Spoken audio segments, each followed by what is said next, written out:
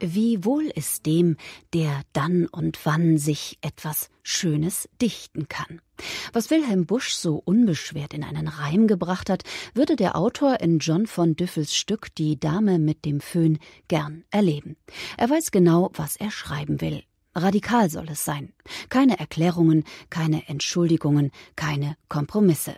Das Ganze geht sich auch recht gut an, bis ihm seine Figuren einen Strich durch die Rechnung machen und Forderungen stellen, die seine Pläne radikal durchkreuzen. Und dabei ist dem Autor gar nicht wohl.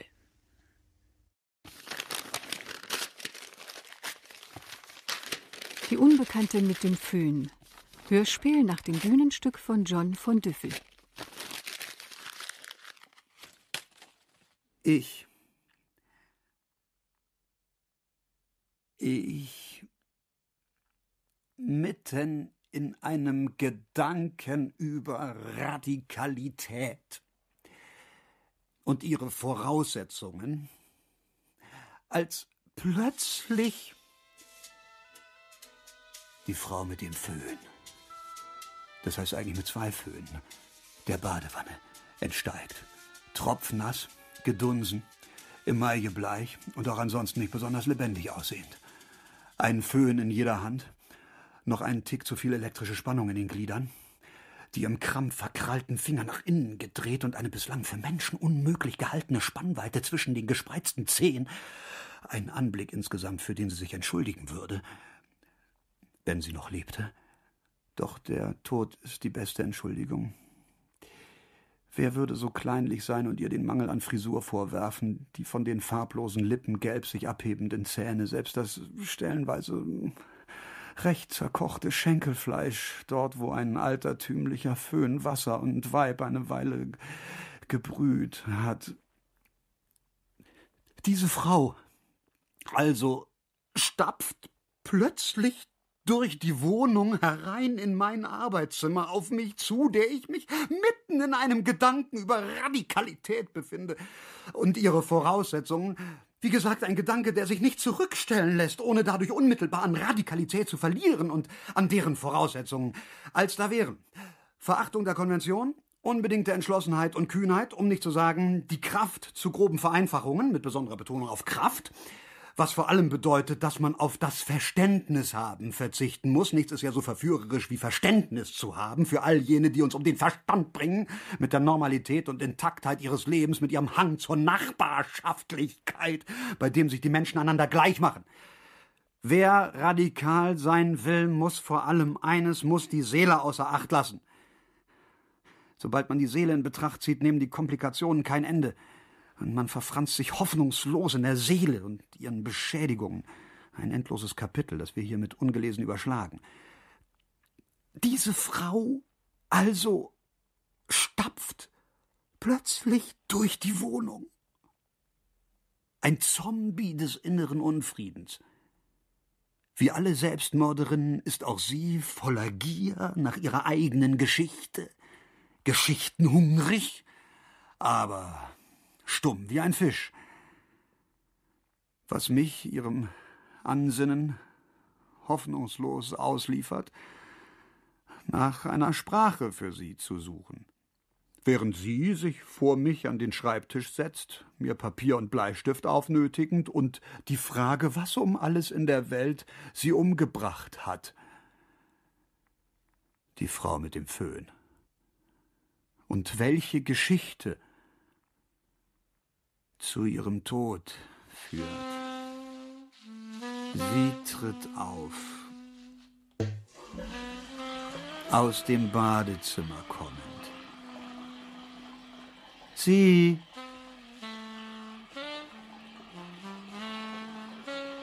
Sie tritt auf, aus dem Badezimmer kommend, mit einem noch Frittete-ähnlichen Turban um ihre nassen Haare geflochten, ein langes weißes Frottetuch um die Brust gebunden, balanciert auf Zehenspitzen leise am Bett vorbei zu einem der Sessel, auf dem er ihren Bademantel verlegt hat. Er. Er. Nun unwiderruflich aus dem Schlaf gerissen, nachdem schon die Geräusche aus dem angrenzenden Badezimmer die obszönen Gurgellaute des Abflusses eine Fortsetzung der Ruhe längst unmöglich gemacht hatten vollends aufgestört durch die scheinheilige Heimlichkeit ihrer Schritte um sein Bett herum, als wäre es nicht allgemein bekannt, dass jedes Heimlichtun gleichsam wie ein Vergrößerungsglas auf alle Störgeräusche wirkt, ja wie eine Störgeräuschlupe, die jedes Rascheln und Tuscheln ins Unerträgliche verstärkt, ganz abgesehen davon, dass ihm sogar im Halbschlaf noch bewusst wurde, es könne nichts anderes als sein Bademantel sein, auf den ihre Heimlichkeit es abgesehen hatte. Sie, seine Missgelauntheit sofort bemerkend und sich daraufhin ganz einsinken lassend in die ruhigen Arme ihres Sessels. Er, von ihrer Gleichgültigkeit einigermaßen brüskiert, aber sich nichts anmerken lassend, beginnt die Situation näher ins Auge zu fassen, dabei unerfreulicherweise zur Kenntnis nehmen müssend, dass sie in klatschnassem Zustand auf seinem Sessel Platz genommen hat, über was noch hinwegzusehen wäre, hätte sie nicht ungefragt seinen Bademantel in Beschlag genommen. Das einzige Kleidungsstück, das ihm an einem solchen Morgen das Gefühl zu geben vermochte, dass die Annehmlichkeiten der Nachtruhe mit dem Aufwachen nicht abrupt zu Ende sind ihr dies mit einem kritischen Blick vorsichtig zu verstehen gebend. Sie seine Aggressivität sofort spürend, leise seufzend ganz für sich. Er ein Vorbild an Selbstbeherrschung abgebend, besonders für sie. Sie von seiner Kälte verletzt aus ihrem Sessel aufspringen. Nachdem sie seinen Sessel grundlos gegen die Wand geknallt hat. Ihren Bademantel raffen will zur Tür. Er schnellt hoch, als sie mit seinem Bademantel verschwinden will. Sie will einer Eskalation der Auseinandersetzung aus dem Wege gehen, rennt. Er, der Diebin hinterher, bekommt einen Ärmel zu fassen. Brutal zurückgerissen. Hält sie fest. Von ihm zu Boden Boden gerissen? Durch ihren Sturz aus dem Gleichgewicht geraten. Wehrlos? Torkelt? Sieht, wie er sich auf sie stürzt. Fällt.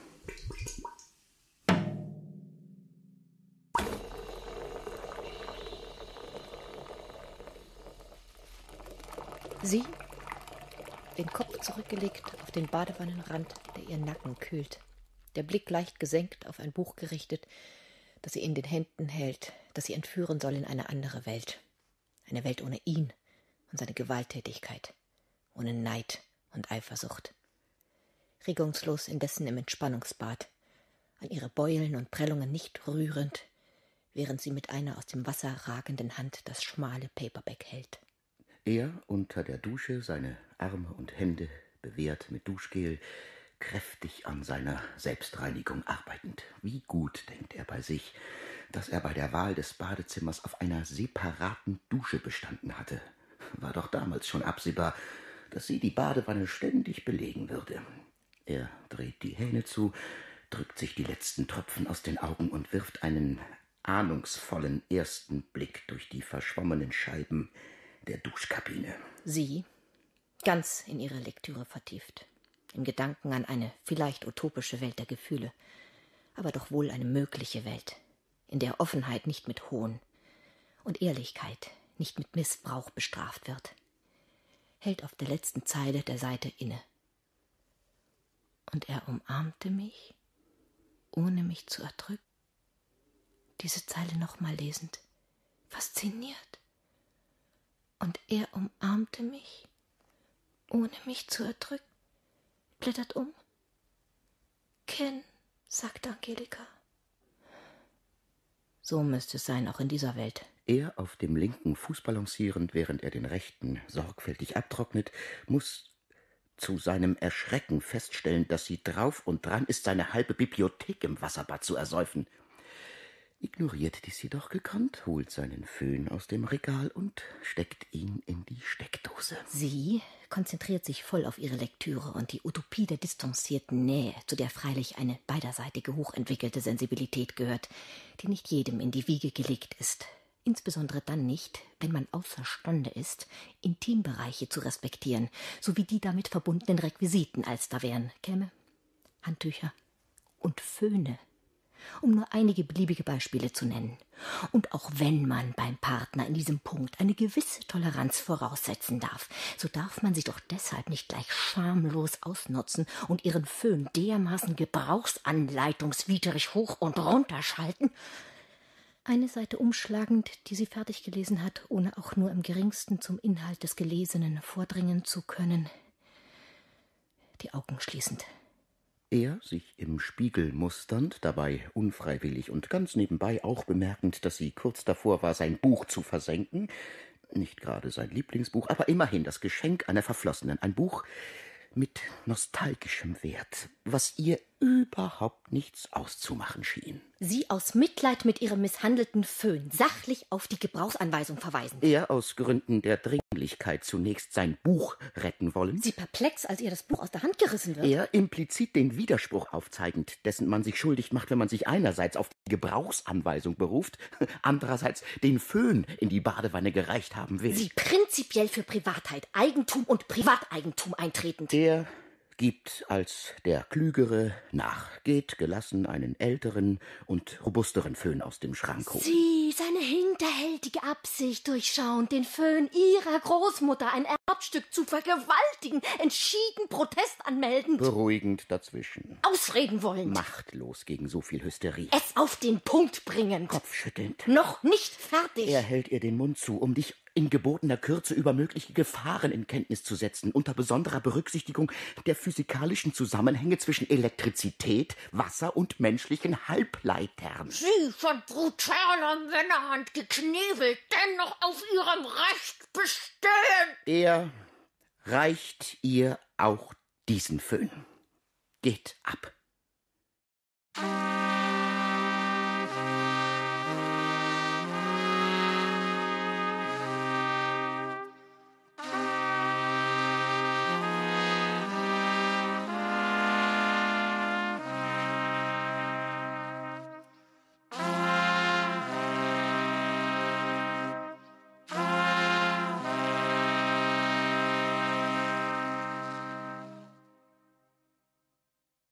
Den Stoß beschriebenen Papiers mit spitzen Fingern zusammenschiebend.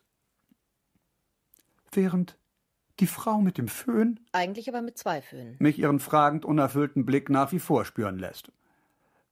Weil es natürlich nicht nett war, angesichts ihres Zustands eine so wenig trostvolle Geschichte zu erfinden. Aber ist es nicht genauso wenig nett von ihr, mich heimzusuchen in dieser prekären Schreibtischsituation? Ganz abgesehen davon, dass es sie offenbar nicht stört, in meinem Gästestuhl so vor sich hin zu algen. Und überhaupt, was ist denn an dieser wenig trostvollen Geschichte auszusetzen, außer dass sie wenig trostvoll ist, wie das Leben im Übrigen selbst. Und vielleicht etwas kurz, wie das Leben übrigens auch. Kurze Geschichten muss es schließlich auch geben. Geschichten können nicht immer weiter und weiter gehen. Es kann nicht jede Geschichte ein Fortsetzungsroman sein und nicht jedes Leben in Altersschwäche enden als ob man heutzutage nicht froh sein könne, wenigstens eine Geschichte zu haben, im Gegensatz zu der großen grauen Zahl von geschichtenlosen Individuen, die nur im Augenblick leben und im nächsten Augenblick dann eben nicht mehr leben ohne dass es eine bindende Geschichte gäbe zwischen Sein und Nichtsein, ohne dass es zwischen Sein und Nichtsein überhaupt etwas gibt, außer wie es im Neudeutsch der Filmemacher so schön heißt, ein Schnitt. Aber sie hat ja ihre Geschichte bekommen, die Frau, mit dem Föhn. Mit zwei Föhnen. Eine richtige Geschichte mit einem Anfang, einer Mitte und einem Ende, dem nämlichen. Aber mehr kann man im Namen der Bescheidenheit auch nicht erwarten, wenn man andere Leute einfach so in ihren Radikalitätsgedanken anfängen hemmt. Und damit basta. Außerdem ist es jetzt sowieso zu spät. Eine zweite Geschichte bekommt keiner mehr heutzutage. Eine zweite Chance Jederzeit, aber keine zweite Geschichte. Das sähe ihr ähnlich. Zwei Geschichten, zwei Föhne. Zwei Föhne, zwei Geschichten. Eine Geschichte pro Föhn, als würde nicht mehr der Mensch zählen, sondern einzig und allein das Materielle, die Föhne. Und nicht die Frau zwischen den Föhnen. Diese typisch menschlichen zwischen zwei Situationen. Also in dem Fall hätte ich sogar noch eine Geschichte, das heißt weniger eine Geschichte als vielmehr die Erinnerung einer Geschichte.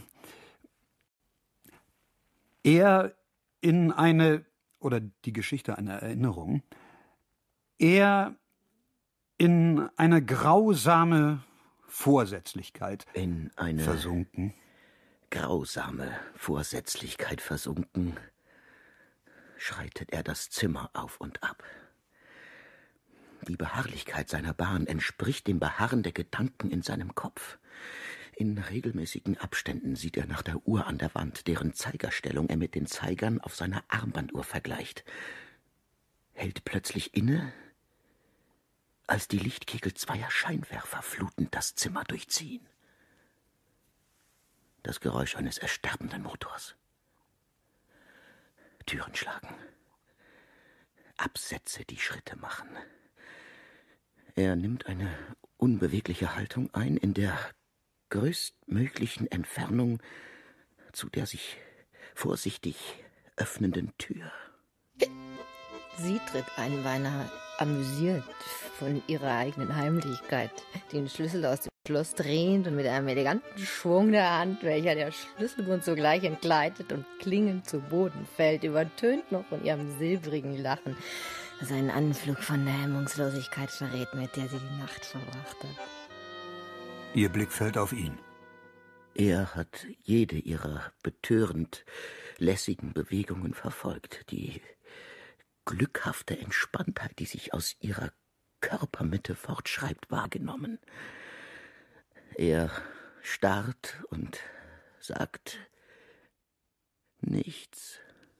Sie, ernüchtert, durch die Härte und Richterstrenge seiner unbeweglichen Augen, die wir mit einem Ruck ihre noch lärmenden, nachklingenden Glieder zum Schweigen bringen wollen, bemüht sich, einen Fuß so unscheinbar und gerade vor den anderen zu setzen, als hätten diese Füße nie Tanz und Musik gekannt und würden nur auf geraden Linien gehen, nur diese eine gerade Linie gehen, die sie zu ziehen versucht, an ihm vorbei in einen anderen Raum, der nicht so verstellt ist von Schweigen.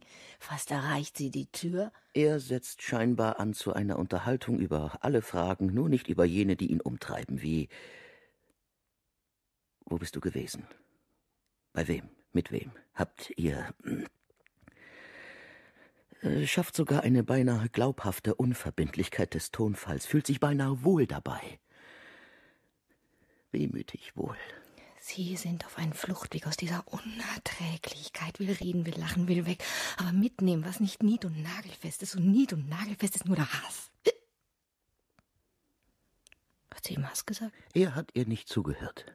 Hört nur auf seine eigenen Worte, die wiederklingen in einem verzerrten Echo beißt die Zähne zusammen vor Anstrengung, sich nicht lächerlich zu finden, nur jetzt nicht sich selbst sehen müssen im Kostüm des Hans Wurst. Ihm fällt plötzlich auf, dass er wieder schweigt. Schließlich fällt es auch ihr auf, dass er schweigt, dass er schon eine ganze Weile geschwiegen haben muss. Ein Schweigen über jede Antwort hinaus. Ein Schweigen, das immer größer, immer gefährlicher wird mit der Zeit, die sie nicht mehr zurückdrehen kann. Längst kann sie nicht mehr anders als weiter, immer weiter. Und noch ein Schatz und noch einer, den sie nur macht, um die Situation nicht entstehen zu lassen. Diese Situation, die am Ende ihrer Rede lauert, wie ein Abgrund. Er lacht etwas. Lacht etwas über den gelungenen Witz und muss dann lachen über sich selbst. Ein hässliches Lachen, ein von Bitterkeit entstelltes Lachen, ein schreckliches Lächerlichkeitsgelächter, das brutal abbricht. Sie senkt den Blick. Er flüstert. Sie, immer noch wortlos, fast verneigend vor seinem Zorn. Er, indem sein Flüstern von dem Wutstau in ihm übertönt wird, lauter werdend, immer lauter. Sie, ihren gekrümmten Körper klein machen, glanzlos und grau. Er, schreit. Sie krümmt sich weiter in der Vorwegnahme seines Faustschlags. Schreit und holt aus. Sie hat sich nun völlig über den bevorstehenden Schmerz gebeugt. Er, jeglicher Angriffsfläche verlustig, trifft nicht, schlägt nicht, sondern mengt seine Hände in ihren zusammengefalteten Leib, um ihn wieder zu seinem Gegner zu machen, bekommt jedoch nichts zu fassen. So sehr hat dieser kleine Körper sich in sich selbst zurückgezogen, kriegt schließlich ihre Ohrringe zu fassen, reißt sie aus und krallt die warm blutenden Ohren fest, ihr Gesicht zu sich hochziehend, bis der feine, singende Schmerz ihr Gesicht mit leuchtenden Tränen füllt, die vor Hitze glänzen. Sie Mutiger nun, da es passiert. Da jetzt jetzt ist. Macht keinen Hehl mehr aus der Verachtung in ihren Augen. Er schmettert mit einem Faustschlag ihren Anblick zu Boden. Sie wie von einem Fieber aus Zorn befallen, spürt keinen Schmerz, nur die Eisigkeit des Bodens auf ihrer heißen Haut. Während seine Hände nach den Dingen greifen, die er mitreißen will in seinen Zorn, weil sie ihm längst nicht mehr Opfer genug ist, diese eine kleine Frau, nein, es gehört alles zerstört, was Frau ist in diesem Moment. Die, die, die Vasen, Vorhänge und die Ohrringe, die er zu seiner Verwunderung noch zwischen den Fingern hat, blutverschmiert und kompliziert verhakt zwischen Ring und Mittelfinger, diese klimpernden Kleinigkeiten, deren unverhältnismäßige Tücke seine wutblinden Finger vergeblich klauben und krampfen lässt. Immer diese Kleinigkeiten, als wären sie nur zu seiner Lächerlichkeit erdacht, diese typisch weiblichen Kleinigkeiten, die, die, die spitze Fingernägel erfordern und nie enden wollende Geschicklichkeit. Da liegend auf den kühlenden Fliesen, weich gebettet auf der Betäubtheit ihres Körpers, ein Ohr am Boden, der Dumpfheit seiner Schritte lauschend. Der, durch die vielen Verhinderungen seines Ausbruchs noch mehr angespornt, die endgültige Explosion seiner Eifersucht zu produzieren, kann gar nicht genug Zerstörungsarbeit auf sich laden. Viel zu mühselig und nacheinander ging bisher sein Abriss vonstatten. Eine Zerstörung ohne eine wirkliche Idee von Zerstörung. So eine Idee muss her. Die Idee, die den Schaden genialisch insgesamt zusammenfasst. Sie, die Augen an die Decke gerichtet, in seltener Gleichmut und den Reflexen nachschauend, die sich im Kristall des Lüsters fangen und fortspiegeln. Der Kronleuchter. Der Kronleuchter, natürlich. Nur dieser Kronleuchter besitzt die Endgültigkeit, die dem Finale würdig ist. Sein Sturz, ein klingender Akkord, sein Verlust ein Schaden, der auch die Vergangenheit umfasst. Was hatte dieses Licht nicht alles gesehen? Gesehen auch von ihm und von ihr. Dass ihm der Kronleuchter nicht früher eingefallen war. Herunter mit ihm. Herunter. Sie? Verwundert. Beinahe ungläubig. Sieht eine oszillierende Schar von Spiegeln auf sich niederstürzen in denen sich ihr Gesicht vielfältig wiederholt und bricht. Tropfenförmig, schillernd, spektral, wie ein aus tausend Teilen bestehender Klang, der klirrend am Boden zerschlägt. Er, sich schmerzlich bewusst, dass er sie nie ganz und vollständig besitzen würde, schmerzlich auf ganz andere Art als das Einschneiden der Kristallsplitter in seiner Haut und das Knirschen des Glasbruchs unter dem Gewicht seines Körpers, das ihm ins Ohr sticht. Dieses Knirschen. Aber schmerzlicher noch, denn sie würde aufstehen können und gehen. Und seine ganze Zärtlichkeitsgewalt würde sie nicht daran hindern können. Sie würde aufstehen können und gehen. Wenn sie nur nicht so bluten würde und das Gestell des Kronleuchters sich nicht so verdreht hätte in ihrer Geschmeidigkeit, würde sie aufstehen. Stopp, stopp, stopp! Und gehen.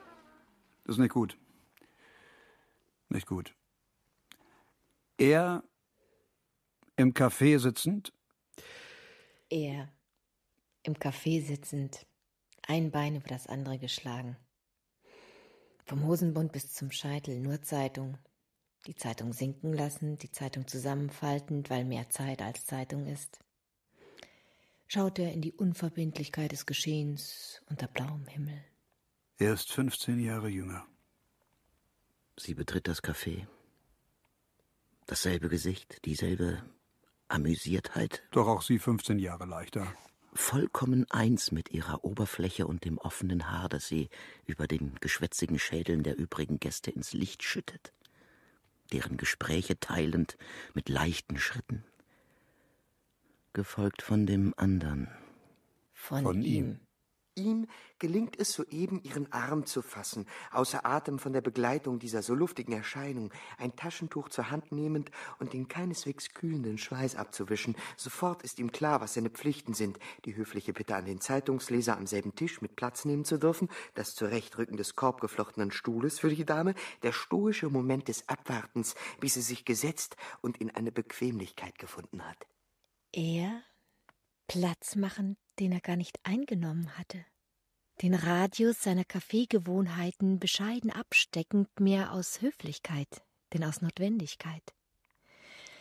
Mit den übereinandergeschlagenen Beinen, die er noch etwas anzieht, mit den Armen, die er noch etwas enger anwinkelt, mit jeder Bewegung ein sich zurückziehendes Nicken anschlagend, eine einladende Abkehr.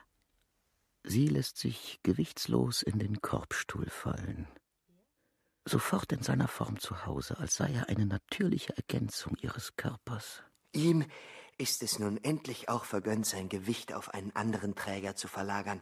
Sogleich ein geübter Griff zur Getränkekarte, die er mit einer Bewegung aus dem Handgelenk vor ihren Augen aufschlägt. Dabei gebührenden Abstand halten zu dem Gastgeber dieser Situation.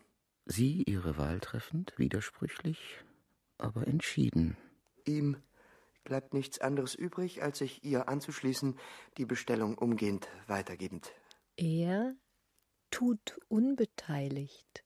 Ihm obliegt es nun, aus den Beliebigkeiten des Lebens Konversation zu machen, mit Betrachtungen über Stadt, Land und Leute, das Vage suchend. Sie kurz nur seinen Worten folgend, sich verlierend auf ihrer Spur und zum nächstliegenden zurückkehrend.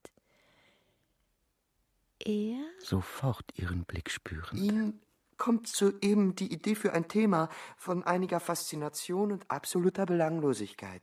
Genau das Richtige für Ort und Stunde. Ergiebigstes Material für mehr als nur eine Kaffeehaussitzung, vorausgesetzt man fängt es richtig an. Sie schiebt eine Sonnenbrille vor die Augen. Er hat sich vielleicht auch getäuscht. Ihm gefällt momentan sein Anfang nicht so recht, äh, zu sehr in äh, kennen Sie den Manier, aber der Mittelteil muss es bringen.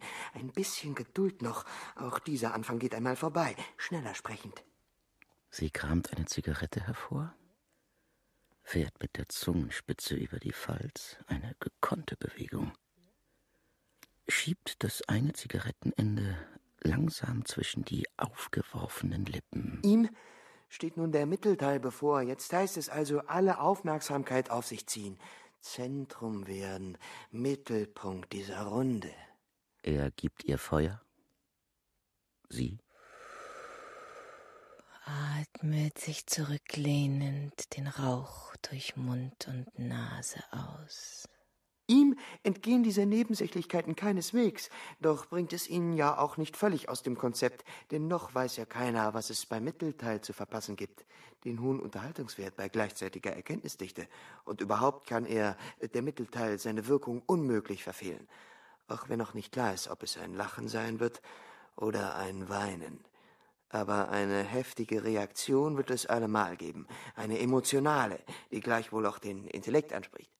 Sie streicht eine Strähne aus ihrer Stirn, dabei wie mit einer Zufallsbewegung ihr linkes Ohrläppchen streifend und mit einem sehr echten Schrecken den Verlust von Geschmeide dort feststellend, wo nur ein feines Loch in hell beflaumter Rosenhaut geblieben ist.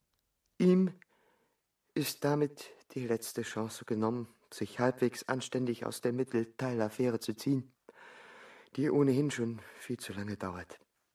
Spontan eine kummervolle Haltung an den Tag legend. Er ist noch unschlüssig, ob er sich einschalten soll oder nicht. Sie? In zerbrechlicher Weise aufgeregt, in aufregender Weise zerbrechlich. Ihm geht das nun doch sehr nahe. Sie, den ungeheuren Verlust für die nähere und fernere Zukunft ausmalend, dabei eben diesen Ohrring schon jetzt schmerzlich vermissend wie ein Körperteil oder ein Stück Identität. Ihm Fehlen, was ihm sehr entgegenkommt, die Worte, so dass er ohne weiteres Zögern sogleich mit männlichen Demonstrationen seiner Hilfsbereitschaft beginnt und eine recht überzeugende Suchpantomime rund um den Kaffeetisch aufführt. Sie? Ihn mal auf diese, mal auf jene Fährte hetzend, herrisch einerseits, andererseits Mitleid, erregend, verwirrt, zu konfus, um wirklich grausam zu sein, zu willkürlich, um völlig hilflos zu wirken. Ihm ist der Gehorsam lieber als die Einsatzleitung, befeuert von dem festen Vorsatz, heute keine Fehler mehr zu machen. Er, abgeschreckt durch die bücklingshaften Kavalierallüren seines Geschlechtsrivalen, der alles andere als eine glückliche Figur macht, verharrt regungslos. Beobachter der Situation und seiner selbst. Auf einem inneren Hochstand. Sie mit den Anstrengungen ihres Begleiters unzufrieden. Vorwurfsvoll. Ihm kann das nichts anhaben. Sich vollends auf den Boden herablassend, um seine Bemühungen zu verdoppeln, verspürt er vielmehr eine moralische Überlegenheit. Sie scheucht ihn weiter zwischen den Kaffeetischen umher. Keine Rücksicht kennend in ihrem beleidigten Zorn. Sie immer neue Unzulänglichkeiten an ihm entdeckend, hält ihm all seine momentanen und vergangenen Fehler vor, nicht in chronologischer Reihenfolge. Ihm steigt der Fehlervermeidungseifer richtiggehend zu Kopf, was es ihm vor allem möglich macht, über jede Schamschwelle hinaus in ihrer Sache tätig zu werden, ohne vor dem Zerschleißen der eigenen Hosenbeine, den Hindernissen fremden Schuhwerks und dem Slalom der Stuhlbeine zurückzuschrecken, während er unter sämtliche Tische und Stühle krabbelt. Er? Jede männliche Verbindung, jegliche Komplizenschaft mit diesem kriechenden und blind tastendem etwas empört zurückweisend dabei die Mundwinkel zu einem Lächeln hochziehend, das keineswegs Sympathie zeigen soll, sondern einzig und allein Teilnahmslosigkeit. Sie lächelt zurück. Er versucht ihr Lächeln zu lesen und seins dem ihren nachzuschneiden. Sie? Immer geheimnisvoller lächelnd, schiebt die zur Faust geschlossene Hand langsam über den Tisch. Ihm ist der Rückweg durch dieses schwierige Terrain aufgrund solider Arm- und Beinarbeit zügig gelungen, die Pumps der Angebeteten erreichend und auch den leicht wippenden Herrenschuh des Tischgenossen. Sie die Hand öffnend? Zeigt den gesuchten Ohrring. Geschichte einer Erinnerung an sie. Sie, das Ohrgeschmeide wieder eingehängt, im Gleichgewicht, sich unterhakend auf dem Weg durch die Landschaft der Zeiten. Er? Er staunt von der Symmetrie ihrer beider Schritte. Ein Gleichschritt vielmehr als ein zufälliges Nebeneinander hergehen. Sie ihren Arm weiter in ihn hineinmogelnd, weich gestimmt vom milden Licht und vom Wind, der sie an seine Seite treibt. Er ertappt sich dabei, wie er mit ausgestrecktem Arm das Land unterteilt in seine geografischen, geschichtlichen und anekdotischen Bestandteile, dabei Sehenswürdigkeiten von Sehensunwürdigkeiten scheidend, bis schließlich außer seiner Wahrnehmung nichts mehr da ist von der Wirklichkeit. Sie in das Detail sofort verliebt, stehen bleibend. Er stockt, stolpert beinahe in die Bruchstelle seiner Orientierungsgeläufigkeit. Steht und staunt. Er neigt so gar nicht zum Verweilen. Engelsgeduldig. Er eine meteorologische Erklärung vorschiebend. Sie nicht darauf eingehend, am Phänomen interessiert und nicht an seiner Gesetzmäßigkeit, bleibt bei dem plötzlichen Mond, der zeitlos am blauen Himmel steht und wie eine Gegensonne scheint. Er hat den Mond kaum beachtet, bemüht vielmehr in die Normalität des Gehens zurückzufinden. Sie, mit ihrer Mondsüchtigkeit kokettierend, ein Mondscheinspaziergang am helllichten Tag, eine wahrhaftig schwer zu überbietende Spezialität, wenn sie es recht bedenkt. Er scheinbar aufmerksam das Höflichkeitsprogramm des Zuhörens absolvierend, während er mit einem Problem aus Kindheitstagen ringt, mit der Unmöglichkeit des Gehens, wenn man es in seine motorischen Einzelheiten analysiert. Das Gehen nun probierend wie das Gehen auf der Bühne, damit es nicht nur Gehen ist, sondern darüber hinaus wie Gehen aussieht. Sie, ein wenig das Gemeinsamkeitsgefühl vermissend, bei diesem ureigentlich auf Gemeinsamkeit angelegten Gang. Zwei Menschenkinder in geschlechtlicher Ergänzung unterwegs in der Natur.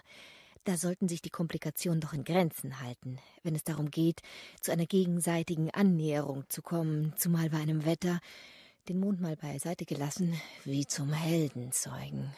Herrgott, das kann doch nicht so schwer sein.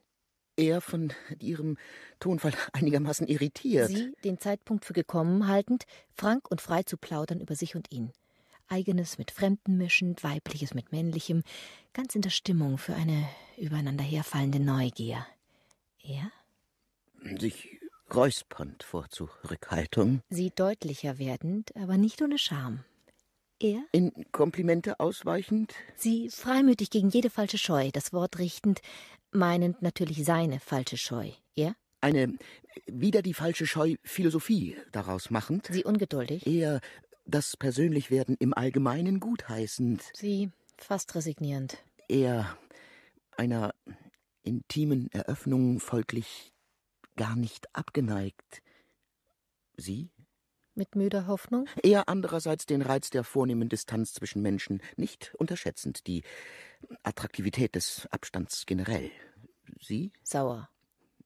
Er zu dem Schluss kommend, dass nichts so schwierig sei, wie ein Paar zu bilden. Sie anderer Ansicht. Er dies auf den weiblichen Widerspruchsgeist zurückführend und geduldig seinen Paarbegriff erörternd. Sie sich insgeheim fragend, ob sie es mit einem Homosexuellen, Asexuellen oder Intellektuellen zu tun habe. Er die Verlagerung der Diskussion unter die Gürtellinie zutiefst missbilligend. Sie entschlossen sich nur noch per Körpersprache mit ihm zu verständigen, er? Nichts überstürzen wollend. Sie, ihre Visitenkarte auf seine Lippen drückend. Ab.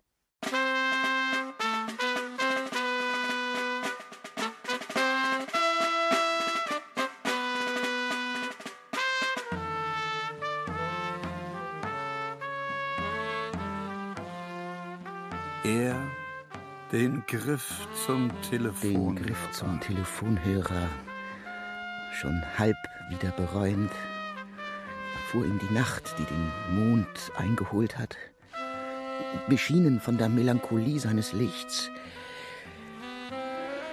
Genau der rechte Ort für einen Mond, denkt er, während ihre Visitenkarte mit der bis zur Unkenntlichkeit beliebigen Telefonnummer zwischen seinen Fingern spielt. Rufzeichen. Wohl wissend, dass es wenige Sätze später kein Zurück mehr geben wird, dass sich die Möglichkeit des Verliebenkönnens sehr schnell in etwas unverrückbar Wirkliches verwandeln kann, etwas von ihm selber Unabhängiges, dem Zugriff seines Willens für immer entzogen.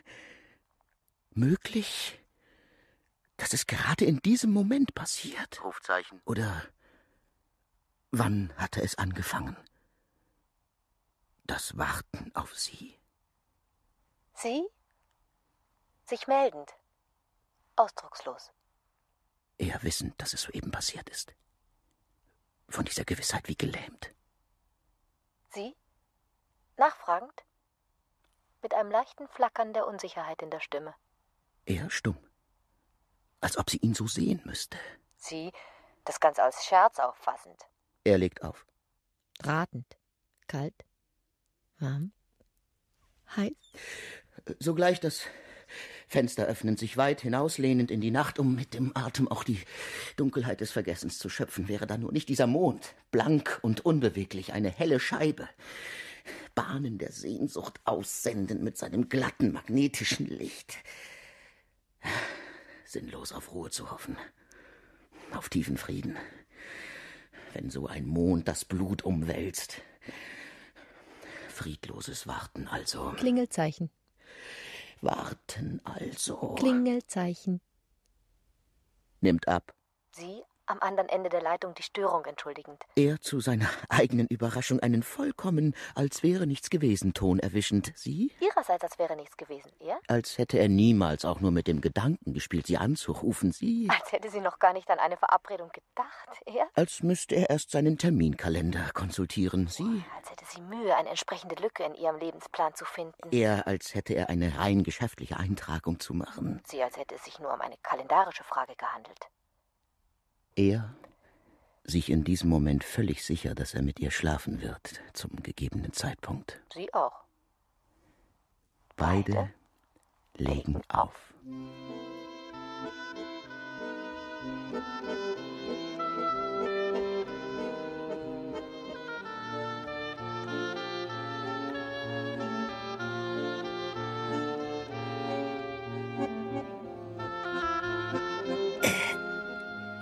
Er sich hochstemmend zu einem letzten quarkweichen Liegestütz und auf die andere Seite abrollend kommt auf dem Rücken zu liegen.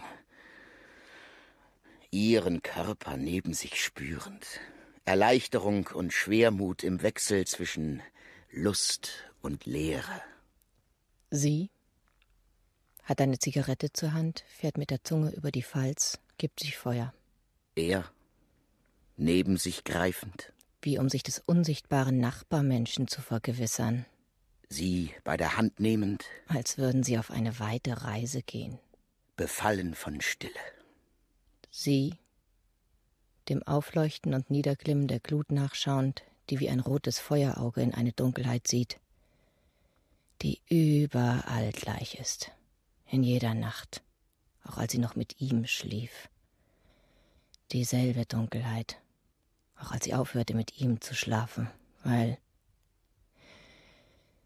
Ja, weil es sie müde machte, ihm auf immer gleiche Art zu gefallen. Wie langweilig ist im Grunde die Illusion von Dauer.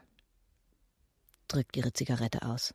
Er den Schwindel der Welt um sie und sich mit einem Gedanken anhaltend.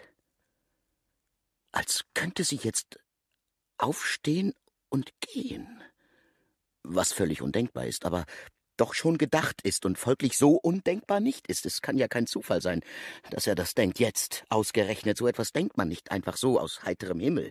Auf einen solchen Gedanken wird man durch irgendetwas gebracht. Durch sie. Und selbst wenn sie blieb, lange Tage, lange Nächte, behielte sie etwas Flüchtiges, nicht Sesshaftes, das alles und jeden um sie herum die Möglichkeit spüren ließ, dass sie aufstehen könnte und gehen. Holt aus zu einer Zärtlichkeit, zu einer von Zeit gebremsten Attacke. Sie bewegt sich nicht. Er, sich schmerzlich bewusst, dass er sie nie ganz und vollständig besitzen würde, schmerzlich auf ganz andere Art als das Einschneiden der Kristallsplitter in seiner Haut und das Knirschen des Glasbruchs unter dem Gewicht seines Körpers, das ihm ins Ohr sticht. Dieses Knirschen. Aber schmerzlicher noch, denn sie würde aufstehen können und gehen. Und seine ganze Zärtlichkeitsgewalt würde sie nicht daran hindern können. Sie würde aufstehen können und gehen. Wenn sie nur nicht so bluten würde und das Gestell des Kronleuchters sich nicht so verdreht hätte in ihrer Geschmeidigkeit, würde sie aufstehen und gehen. Mit spitzen Fingern ein halbes Lebenswerk an beschriebenem Papier zusammenschiebend, entschlossen, keine Fragen mehr zu beantworten, keine klugen und keine dummen, und kämen sie auch von dieser Erscheinung einer Frau mit zwei Föhnen, die der Badewanne entstiegen ist, um andere Leute in ihren Radikalitätsgedankenanfängen zu verwirren. Jede Frage ist ein Attentat auf eine Geschichte, auf den Geschichtenzauber, insbesondere wenn es sich um Erinnerungsgeschichten handelt, die man eh nehmen muss, wie sie sind, bei denen man sich fragen kann, was sie mit dem Heute zu tun haben, aber sich muss man das fragen, nicht mich, sich selbst, auch wenn man da sitzt mit offenem Mund wie ein Karpfen mit Kiemenlähmung. Nein, nein, nein, nicht aufstehen, gute Frau, ehrwürdige Tote, jetzt, wo ich schon einmal dabei bin, ich kann Ihnen sowieso noch nicht folgen. Ohne meinen Radikalitätsgedanken wenigstens angefangen zu haben, gehe ich hier nicht weg. Hinsetzen und hören Sie auf, mir zuzuwinken. Das beeindruckt mich kein bisschen. Geben Sie mir noch eine Geschichte lang Aufschub, eine andere Geschichte lang, wenn Sie wollen, eine Geschichte, die Ihnen gefällt, die wirklich zu Ihnen passt. Ihre Geschichte, sehr geehrte Frau mit dem Föhn. Aber versuchen Sie nicht, mich zu holen. Ich hasse es, geholt zu werden. Lassen Sie mich Ihre Geschichte zu Ende erzählen, bis zu einem wirklichen Schluss. Und bitte sehr, nicht mehr winken. Ich verliere sonst den Faden und werde nicht fertig, wie immer an diesem Schreibtisch. Also, er seine letzten Worte in der Hand haltend, seine letzten Worte in der Hand haltend, oder zumindest die Worte, die dann später einmal als seine letzten gelten würden, ganz unabhängig von allem, was er jetzt noch an Worten sagte, das Papier auf dem Schreibtisch niederlegend, es sorgfältig mit dem Briefbeschwerer beschwerend, ein letzter Blick auf die Endgültigkeit des Arrangements und dann dann geht er, seinen Bademantel entknotend, Richtung Badezimmer. Sie, bereits eingetaucht in das von Essenzen angereicherte Wasser, dessen seltsame Wohlgerüche ihr zu Kopf steigen, lächelt ihm zu mit einem Lächeln wie nicht von dieser Welt. Er, den Bademantel von den Schultern streifend, probiert mit den Zehenspitzen die Wassertemperatur, während ihm seine letzten Worte nicht aus dem Sinn gehen. Und das Arrangement des Papiers auf dem Schreibtisch, das vielleicht doch nicht so endgültig ist, wie es sein sollte, könnte doch immerhin ein Luftstoß, wenn er von der Fensterseite her unter das Papier führe, den Briefbeschwerer kippen und seine letzten Worte durchs Zimmer fegen, die Zehenspitzen wieder aus dem Wasser holen, zieht den Bademantel noch einmal über auf dem Rückweg ins Arbeitszimmer. Sie die Ruhe selbst, als hätten sich durch das würzige Wasser Leib und Seele schon voneinander abgelöst und der Leib wäre in der Tiefe versunken, während der Geist über dem Wasser schwebt. Er die Fensterfront noch einmal sorgfältig verriegelnd, dann sicherheitshalber den Briefbeschwerer in seiner einsamen Aufgabe durch einen massiven Brockhausband unterstützend, dabei seine letzten Worte noch einmal kurz auf orthografische Richtigkeit hindurchsehend, keinen Fehler findend in der Eile, die ihn bereits wieder Richtung Badezimmer treibt, wo er den Bademantel aufs Neue abwirft und einen Fuß in das Wasser tunkt. Sie beinahe schon wie entschlafen, mit einem Bewusstseinsausläufer, sanft den schwappenden Rand des Jenseits streifend, körperlos im Bade wogend wie ein in Formalin eingelegtes Gehirn. Er, von der Wassertemperatur durchaus angetan, jedoch abgelenkt von dem plötzlichen Gedanken, sich zu brav formuliert zu haben. Immerhin waren es seine letzten Worte. Und da erscheint es wieder einmal ganz symptomatisch, dass die Orthographie seine größte Sorge darstellt. Diese nur keine Fehler machen Haltung. Wie bezeichnend für ihn. Dieser Korrektheitswahn, der ihn schließlich sein ganzes Leben lang einschränkend beherrscht hatte. Die Lust zur Übertretung unterdrücken, bis zuletzt. Und jene Wildheit, für die die Anarchie der Jugend viel zu kurz und eigentlich auch gar nicht anarchisch genug war. Oh nein. Den nassen Fuß entschlossen auf die Badematte setzend, zurückeilend zum Schreibtisch, um seinen letzten Worten ein paar empfindliche Schreibfehler beizubringen. Sie? Ein wenig unsanft zurückgeworfen in die Wannenwirklichkeit, in die Welt der tückischen Objekte. Als da wären in die Augen beißende Wassertropfen, in die Wanne stürzende Parfumflakons, oder gar ausschlagende Männerfüße. Er, über sein Machwerk gebeugt, mit fliegender Feder Fehler einfügend, haarsträubende Schreibfehler, die nicht den geringsten Zweifel an der trotzigen Absicht ihres Verfassers ließen, dabei kurz überlegend, ob er nicht von diesen nunmehr fehlerhaften letzten Worten eine saubere Abschrift anfertigen solle, aber den Gedanken dann wiederum als kleinmütig verwerfend.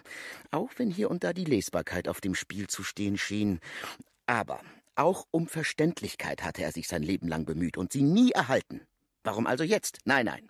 Nur weiter kühn dem eigenen Impuls gefolgt. Sie nun doch etwas ungeduldig werden, da eine wesentliche Voraussetzung für ihren Entschluss die Gemeinsamkeit desselben war, dessen Verzögerung er mittlerweile wiederholt betrieb.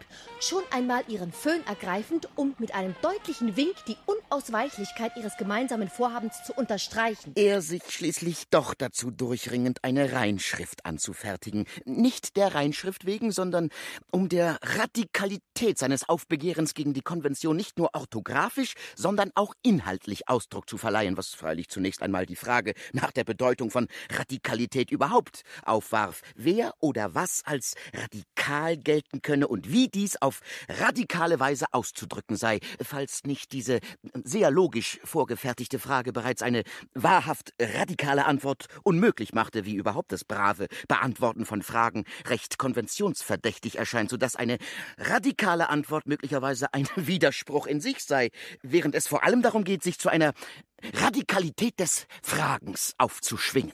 Sie, sich aus dem Wasser erhebend, ergreift einen zweiten, seinen schon bereitgelegten Föhn, um zur Tat zu mahnen, fällt. Ein Schlag, der sich in einem hohen Surren fortsetzt, Wasserblubbern wie von Ventilatoren umgerührt, Schrei, Stille, Dunkel. Äh, Moment, Moment, Moment, Moment. Ich, ich bin hier noch nicht fertig. Und außerdem, ich lass mich hier nicht herumkommandieren. So, na bitte. Entscheidend. Also der Mut auszubrechen aus diesen verpflichtenden Kontexten, ohne Rücksicht auf. Ich will jetzt nicht daran denken, worauf. Daran zu denken ist das halbe Rücksicht nehmen. Ich denke immer an alles. Mein Leben lang habe ich immer an alles gedacht. Deswegen bin ich auch mit nichts fertig geworden. Und ich, jetzt will ich fertig werden. Einmal in meinem Leben will ich fertig werden mit etwas. Und ich denke an nichts anderes mehr. Unterbrich mich nicht. Zwecklos, mich zu unterbrechen. Ich nehme keine Rücksicht mehr Komm auf. jetzt endlich.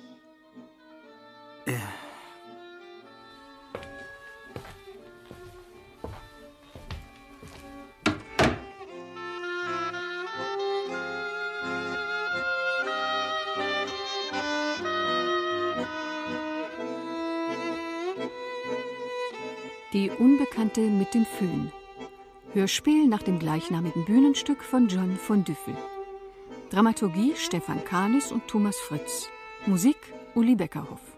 Es spielten ich, Martin Reinke, er, Werner Wölbern, sie, Christiane Leuchtmann, ihm, Matthias Matschke. Schnitt Robert Baldowski. Ton Dietmar Hagen. Regieassistenz Matthias Seimer. Regie Gottfried von Einem.